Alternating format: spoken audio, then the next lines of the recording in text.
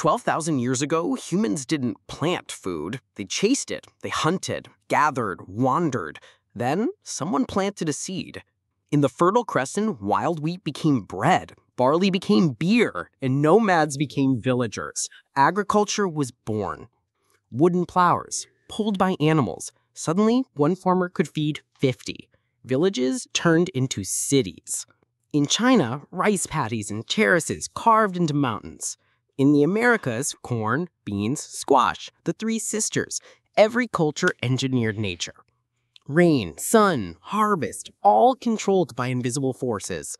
So, humans built temples, prayed for crops, and linked farming to the heavens.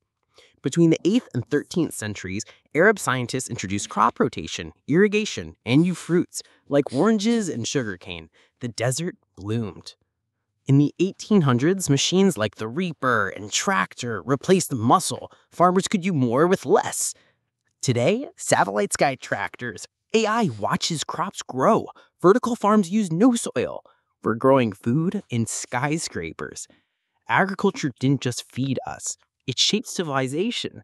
And the next harvest might be on Mars.